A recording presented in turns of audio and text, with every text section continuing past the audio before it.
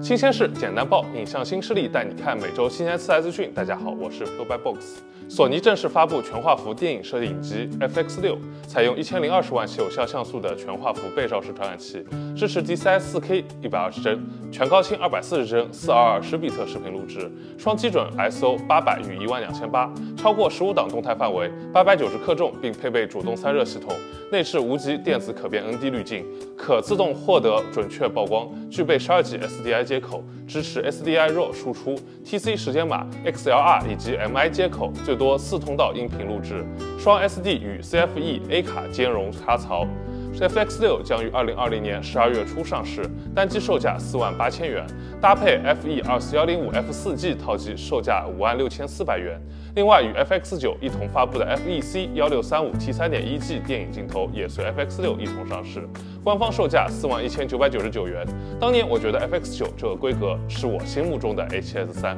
现在回头看真是小瞧了索尼，A7S3 真香，FX6 真棒。奥林巴斯正式发布超长焦旗舰镜头幺五零四百 f 四点五 TC 一点二五，新镜头采用二十八片十八组光学结构，包含一枚 EDA 超低色散非球面镜片，四枚超级低色散镜片，两枚低色散镜片，内置一点二五倍增距镜，等效焦距覆盖三百到一千毫米。此外，这款镜头还将支持两倍增距镜，最高可达两千毫米的超强焦距。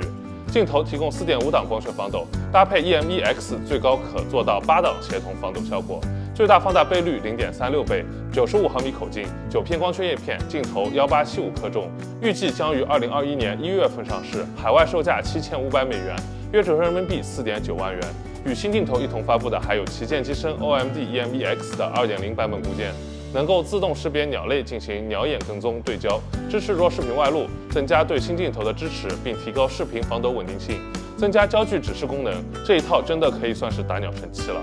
佳能早在二零一五年就宣布开发的二点五亿像素 APS-H 画幅传感器正式发布并开售。这款传感器支持二点五亿像素五帧每秒输出与全高清三十帧输出，可用于多种行业运用场景。反正我是觉得相机行业应该不会真的有人会买来用吧。维卓仕杰夫三剑客 E 卡口版本将于十一月二十五日正式上市，届时索尼 E 卡口、富士 X 卡口以及佳能 EFM 卡口用户都可以使用上物美价廉的 AF 二三、三十三、五十六毫米 f 一点四了。以上就是本周西安四台资讯了，大家下周再见，拜拜。